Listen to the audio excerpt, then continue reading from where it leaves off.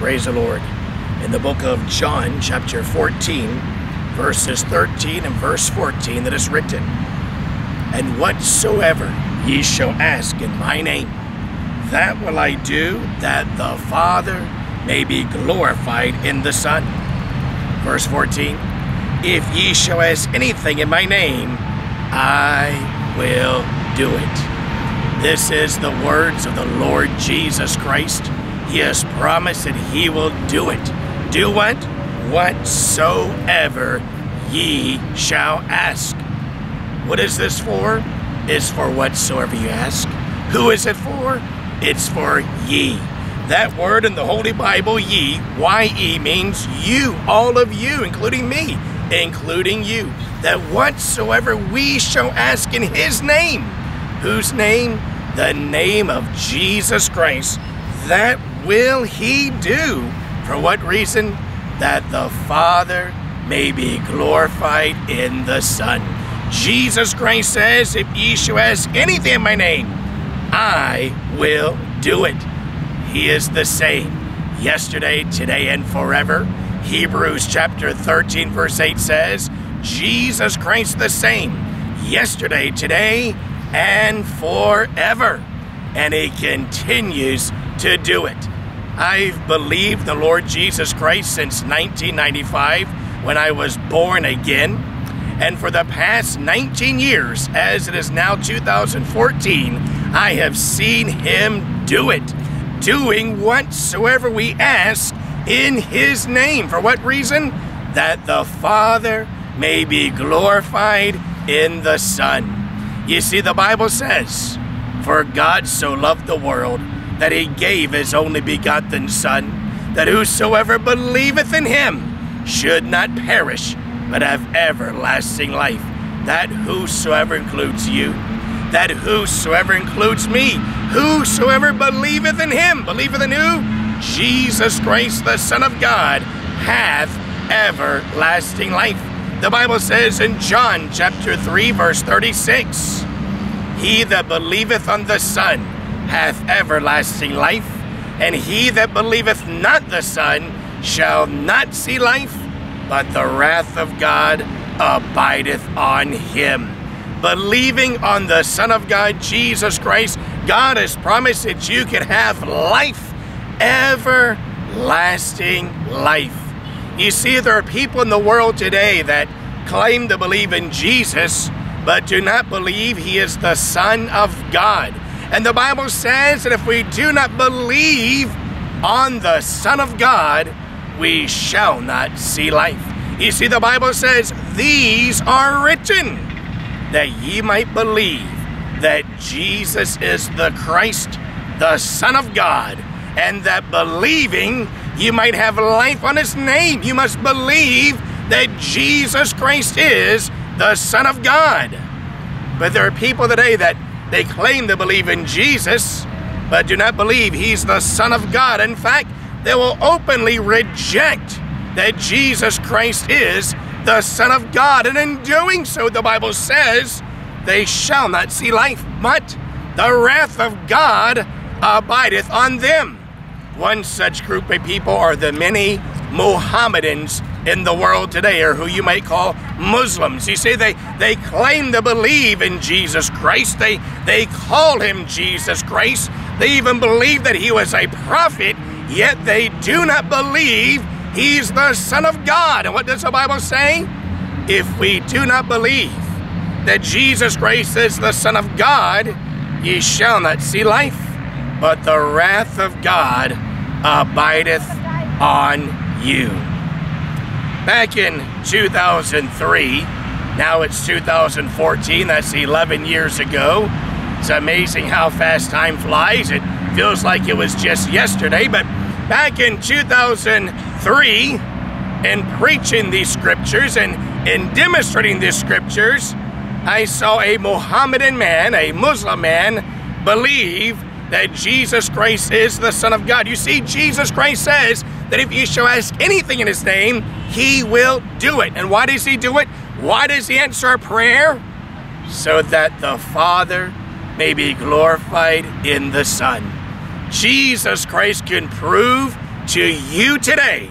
He is the Son of God. If you would ask God whatsoever in the name of Jesus Christ, He has promised He will do it. And He does it for this reason that the Father may be glorified in the Son. Back in 2003, I was preaching the gospel in different churches on Sunday, or what Christians call the Lord's Day, the first day of the week. And what I would do was the day before I'd preach in the churches, which would be Saturday, I would take a team out into their neighborhoods to preach the gospel because I am an evangelist since I was born again. The Lord has gifted and called me to do the work of an evangelist. What's an evangelist? It is a preacher of the gospel. And I've been preaching the gospel since I was born again back in 1995. And as I was preaching the Word of God in this church on Saturday, the day before the church service, I would take a team out and we'd go out to their neighborhoods and preach the gospel. Being that it was a Saturday and many people are not working on that day, we went out in the morning time. And as we preached the gospel out there in that neighborhood, and it was a a, a slum area, what they would call in Thailand, in Bangkok, a, a slum area. It's a, a poor area of town, and we went preaching the gospel and giving out gospel tracts in that poor area of town. Before 12 o'clock, we're going to head back to the church and eat dinner, uh, eat lunch there at 12 o'clock. And before that time, we stopped at a little shop to get some drinks. You see, we've been preaching the gospel all morning long, and so we wanted some water and some soda pop.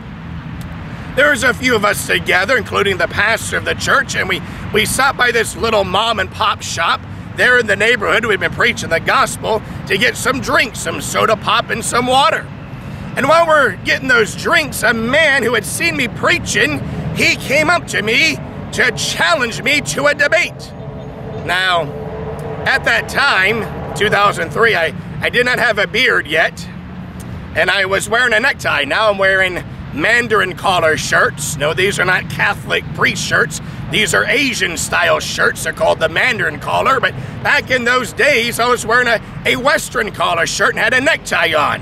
And I did not have my beard at the time, so I, I looked like a Western man more so than I do now. I'm half Western and half Vietnamese. By the time I was wearing a shirt with a Western collar and a Western necktie, and I had the Bible and I'd been preaching the gospel, so everybody knew that saw me that I was a Christian. Of course, you can tell by this book that I'm a Christian. You can tell by the way I was dressed, I was a Christian. And on top of it, I was preaching the gospel as well. And this, this man that came to debate with me, he was a Burmese man. He was darker skin, he had a, a long beard, and he was wearing a tank top, and he was wearing a sarong. What's a sarong? It's a, a nice way of saying a, a dress. He was wearing a, a dress, a kind of a, a long skirt. It was a green color skirt that Mohammedans or Muslims are known for wearing.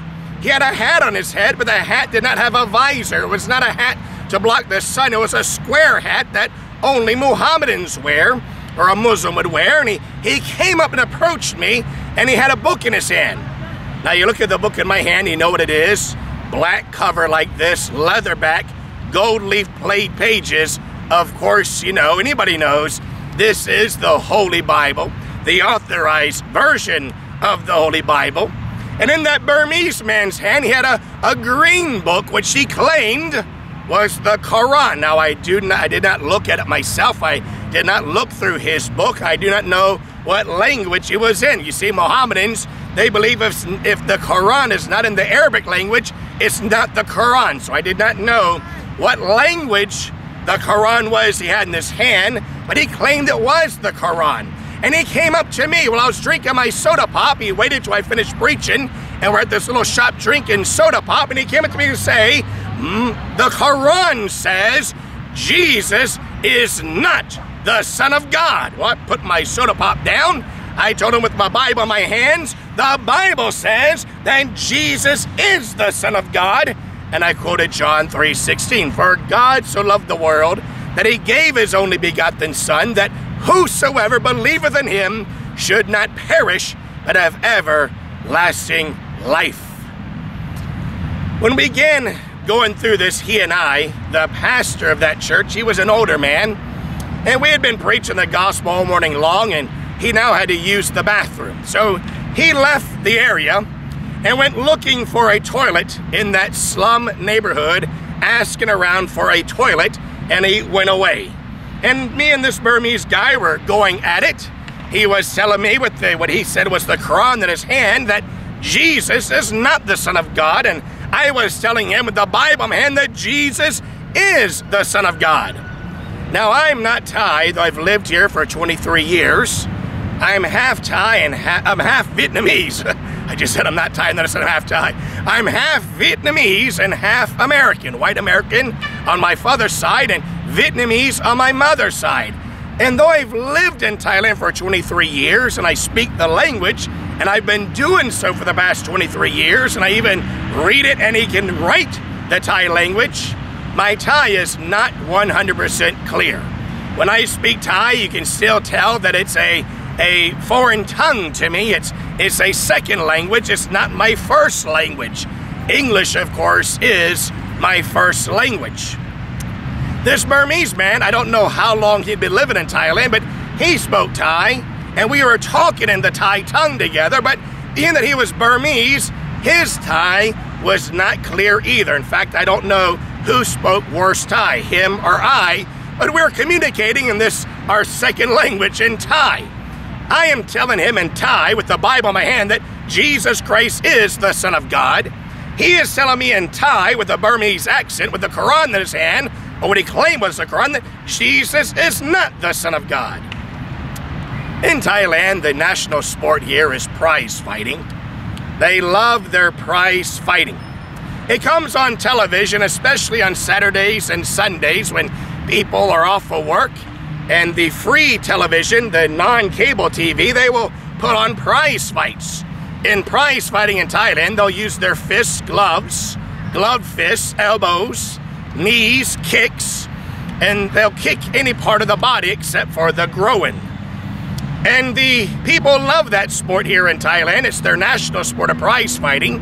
And at the end of the month, and it happened to be end of the month at that day, Saturday, the best fighters will fight because prize fighting the world over, not just here in Thailand, but the whole world, is controlled by gambling. If there was no gambling, there would be no prize fighting. And the best fighters fight at the end of the month when everybody gets their monthly wages, so that way they can gamble their monthly wages. And people get so addicted to gambling, sad to say, that they'll actually gamble their monthly wages away over a prize fight.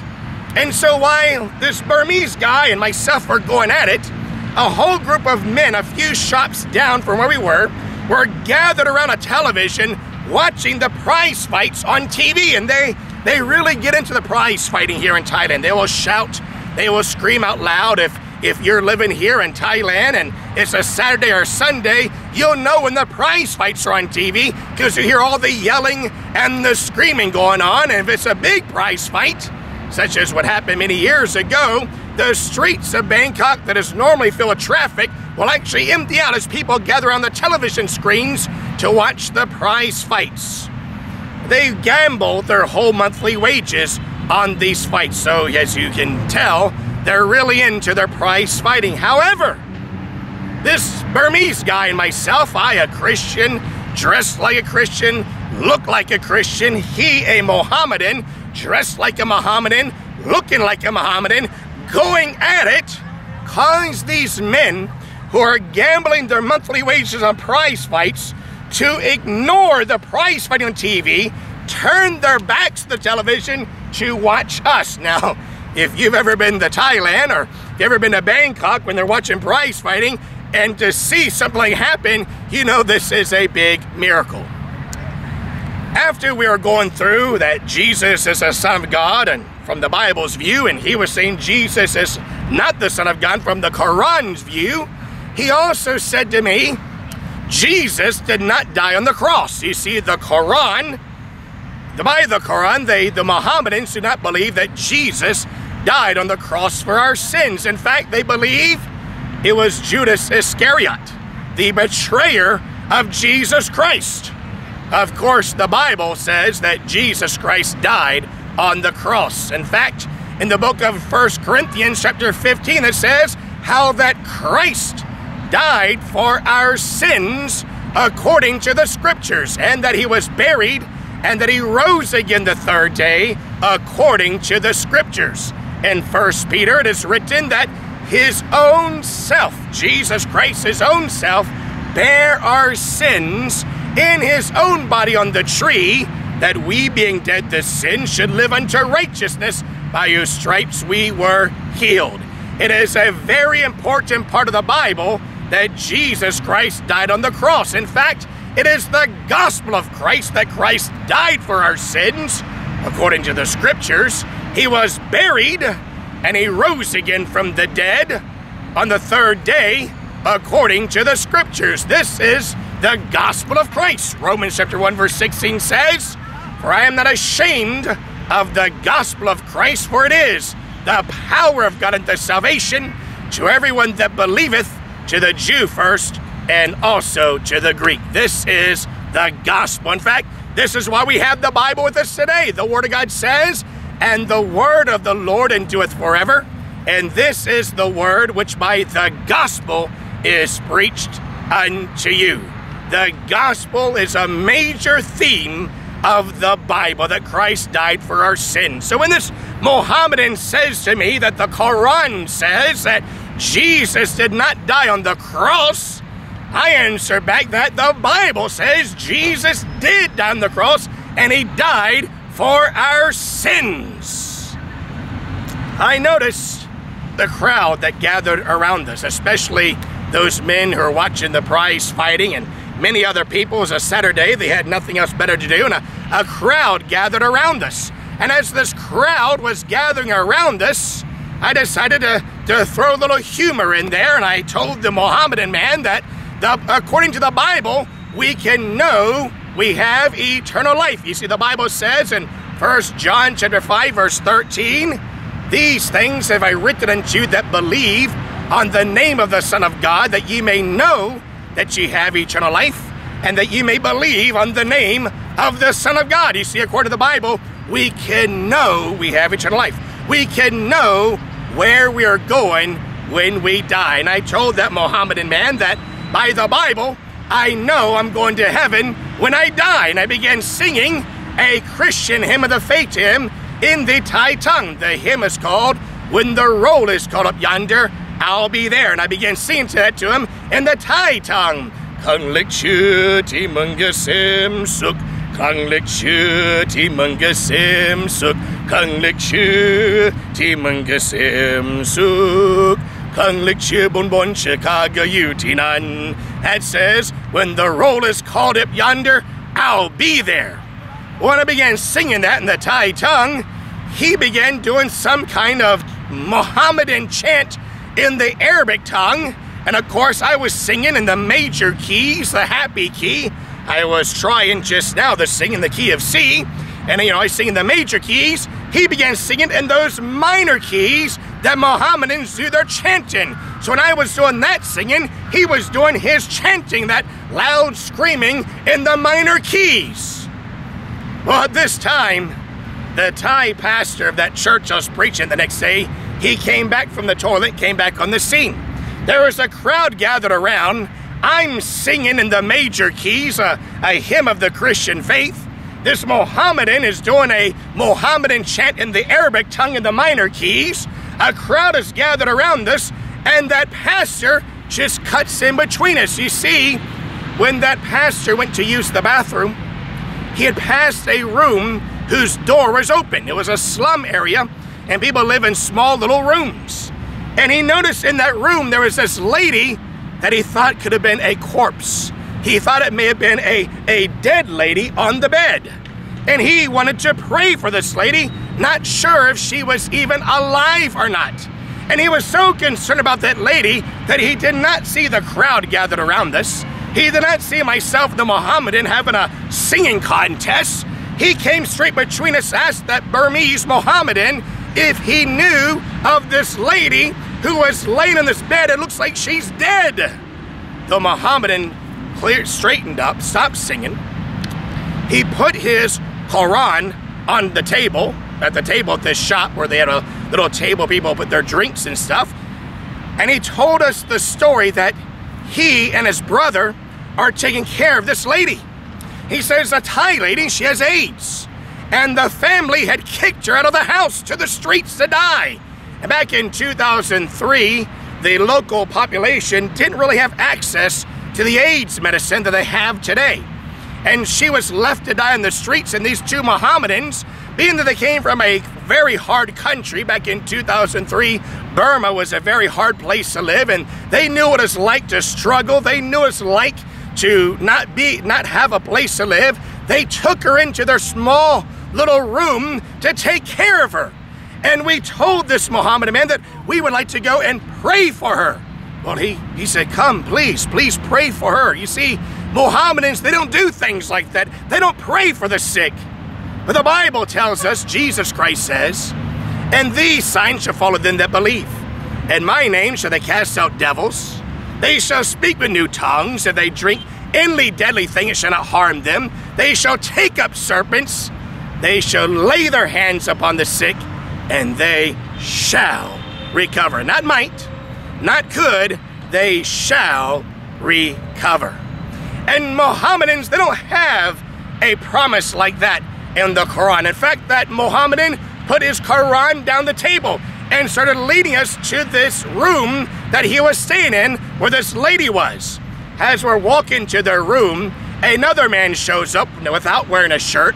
He had tied strings around his biceps and put his guard up in a boxing stance, ready to box with me. You see, it was that man's brother. And while he saw us having this debate, he went and got ready, tied those strings of bicep to come to beat me up and to fight me. But his brother, who was leading us to the room, explained to him in the Burmese tongue, I believe he was saying that they're going to go pray for that lady. And he automatically straightened up, put his hands down, and they directed us to this room. And it was a very small room. It had just enough room for a small single bed and a little bit of a walkway. And these two Burmese men had sacrificed their bed they're sleeping on to sleep on the floor, to let her, this woman dying of AIDS, sleep on their bed. There is no window in the room, it's just one door. There's no toilet. They share a toilet down the hallway, just a small little stinky room that these two Mohammedan brothers from Burma allowed this of AIDS to sleep on their bed. As we entered into that small room, the smell hit us in the face. Not only was it very hot, not only was it very close, it was very smelly. And there was this woman laying on the bed, and she looked like a corpse. In fact, she looked like a skeleton laying there. She was that skinny and very smelly and laying on the bed, and we did not know if this was a corpse or not. The two Burmese men, because the room was so small, they were not able to come inside with us. They stood outside at the door while this pastor myself entered into the room to pray for this lady. We knelt down by her bed. I looked at that pastor, he looked at me. We didn't say anything to each other, but we wanted to confirm we were in agreement. You see, in Matthew chapter 18, verse 19, Jesus Christ says, Again I say unto you that if two of you on this earth shall agree as touching anything that they shall ask, it shall be done for them of my Father which is in heaven. We had to make sure we were in agreement. This looked like a corpse on the bed. We were getting ready to pray for her with these two Mohammedan men watching us. So as we confirm with our eyes that we're going to pray, we're in agreement, I put my hands on her head as Jesus Christ says, they shall lay hands on the sick and they shall recover. And as I put my hands upon her head, her head was burning hot with a fever. I've never felt somebody with such a high fever before, but that told me she was alive. Praise the Lord. We didn't have to raise somebody from the dead. She was alive, and we began praying for her. Now, I, I did not say these prayers of doubt of, Lord, if it be thy will. No, it wasn't a prayer like that. The Bible says that the prayer of faith shall save the sick, and the Lord shall raise them up. We didn't pray half hearted prayers. We didn't whisper a prayer of doubt to God. We prayed the prayer of faith in the name of Jesus Christ. And as we prayed for her, her eyes suddenly opened and she wanted to sit up. So, myself and the pastor, we helped sit her up. while we were sitting her up in this bed, the two Burmese Mohammedans standing at the doorway of this room began crying. We found out later she had been bedridden for two weeks. According to them, she had been in that bed for two weeks. No wonder it smelled so bad. And they thought she was going to die this way. They had lost all hope that she would ever sit up on her own. And here she was now, after we prayed, sitting up. And it caused these two men to begin to cry. They were witnessing a miracle. Now, the pastor and I, we did not know at the time she was bedridden. So as she sat up, we began preaching the gospel to her. Jesus Christ says, Go ye into all the world and preach the gospel to every creature. He that believeth and is baptized shall be saved, and he that believeth not shall be damned. And these signs shall follow them that believe. You see, normally we preach first, then the signs follow. Mark chapter 16, verse 20, it is written, And they, the apostles, went forth and preached everywhere, the Lord working with them and confirming the word with signs following. Normally, we preach first and God works with us and confirms his word with signs falling. But at this particular day, the sign came first. We did not really realize it at the time we prayed for her. She sat up and then we began preaching the gospel to her. She put her hands up in the air like Thais will do and closed her eyes, and tears sort of streaming down her face as we preached that God commendeth his love toward us, and that while we were yet sinners, Christ died for us. We preach her that greater love hath no man than this, that a man lay down his life for his friends. We preach the death, the burial, and the resurrection of Jesus Christ to this woman. And she was crying. She'd been kicked out of her home. She was dying of AIDS. She was condemned by men to die. And now she got to hear that God loved her. That God sent his son, Jesus Christ, to die for our sins. For God sent not a son into the world to condemn the world, but that the world through him might be saved. And God is willing for all men to be saved and to come to the knowledge of the truth. And we gave her the promise that if thou shalt confess with thy mouth the Lord Jesus, and shalt believe in thine heart that God hath raised him from the dead, thou shalt be saved. As she listened to us preach the gospel and, and shed many tears that, that God would still love her in the sorry state that she was in as she was dying of AIDS and kicked out of her own house. And these Burmese men, these illegal immigrants here in Thailand, were the ones taking care of her. She was shedding these tears, and we, we told her the promise that whosoever shall call upon the name of the Lord shall be saved. And, and she wanted to call upon that name, the name of Jesus Christ, to be saved. And so we, we prayed with her.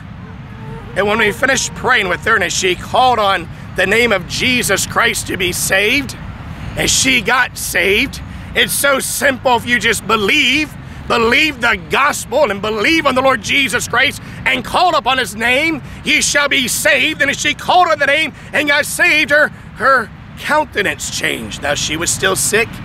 She was still in a bad physical state.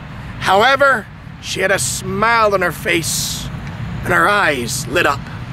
When somebody is born again, you know it. It is the greatest miracle ever for people to get born again.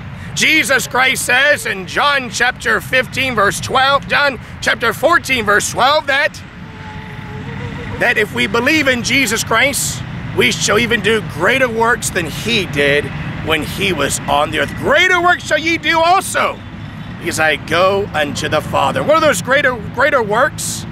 To see people get born again. It is the greatest miracle to see people come out of darkness into light, translated from the kingdom, from, from destruction, translated from death, translated from the power of darkness into the kingdom of Jesus Christ. She was born again. Her, she became a very beautiful woman, though she was in a bad physical state. And as I was looking her eyes glowing and that smile on her face and rejoicing that she got born again, that Burmese man who had been debating with me grabbed me on the arm and said, I want what she has. What must I do? We preached the gospel to them as well, and they got down on their knees and they called on Jesus, the Son of God, to save them as well. Well, a few days later, we gave that Burmese man and his brother a Burmese Bible. We gave the, the Thai woman a Thai Bible. And then the next week, that was a Saturday, so the next Saturday, we paid them a visit after giving them the Bible, and then we paid them a visit. When we came to the room, it was clean now. It smelled better because that woman who was dying of AIDS, though she may not have been healed of the AIDS itself, she was doing a lot better and she was up she was cleaning, she was walking around, she was eating, and in that week's time, she'd gain weight. And if you're down to bones, skin and bones, and you start eating, you can really tell. And she started putting some weight on just in one week's time and was cleaning the room. And the Burmese man told me the story that the day before, because it was a Saturday now, he, he went to the mosque, because they go to mosque on Fridays. And he took that Burmese Bible we gave him, and he told all of his Mohammedan brethren there at the mosque what Jesus did.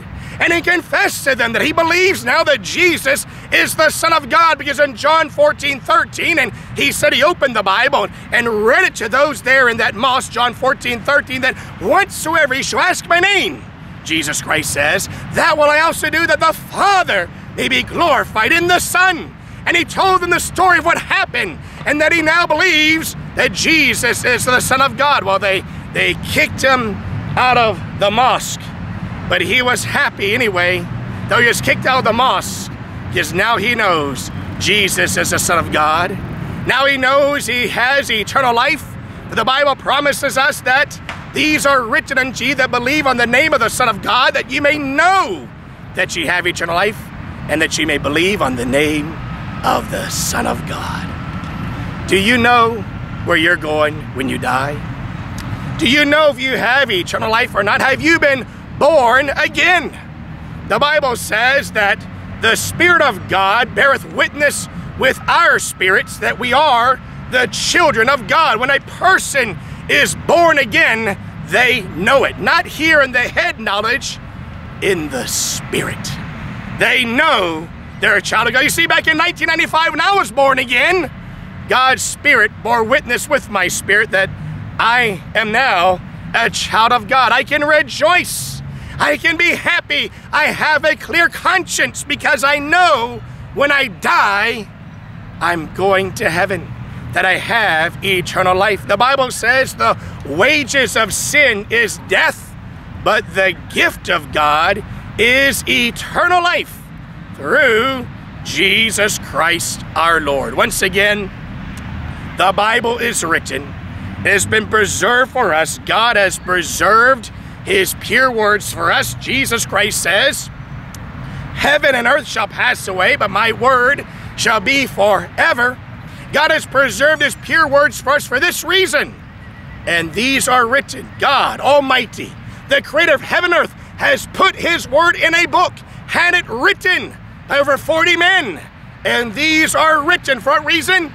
That ye, you and me, that ye might believe that Jesus is the Christ, the Son of God, and that believing ye might have life through his name. For neither is there salvation than any other, for there is none other name under heaven given among men whereby we must be saved. For whosoever shall call upon the name of the Lord shall be saved. The Bible says, Thou shalt call his name Jesus, for he shall save his people from their sins. And whatsoever he shall ask in his name, Jesus Christ says that he will also do, that the Father may be glorified in the Son. And Christ promises, If ye shall ask anything in my name, I will do it. He'll do it for you. Call on the name of Jesus Christ. Pray to God in that name the name of Jesus Christ, and He will do it. God bless you. I'm praying for you, praying for you to be saved, praying that you believe in the Lord Jesus Christ and receive this gift of eternal life. God bless you.